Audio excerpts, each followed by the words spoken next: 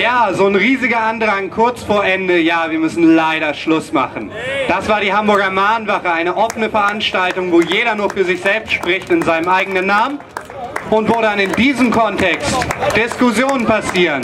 Tut mir leid, wir müssen wirklich Schluss machen. Wir müssen hier den Platz um 9 Uhr geräumt haben. Genau. Aber, aber wir sind nächsten Montag wieder da und den da drauf und den da drauf. Es ist alles angemeldet. Wir sind hier auch jeden Montag 18.30 Uhr wieder. Und ich freue mich, wenn da wenigstens ein paar von den Gesichtern, die jetzt dazugekommen sind, auch dabei sind und sich hier mit einbringen und vielleicht die Diskussion fortführen, weil so ist das in unserer Demokratie, da muss man miteinander reden. Also, ich wünsche euch allen noch einen schönen Abend, kommt gut nach Hause, genießt das schöne Wetter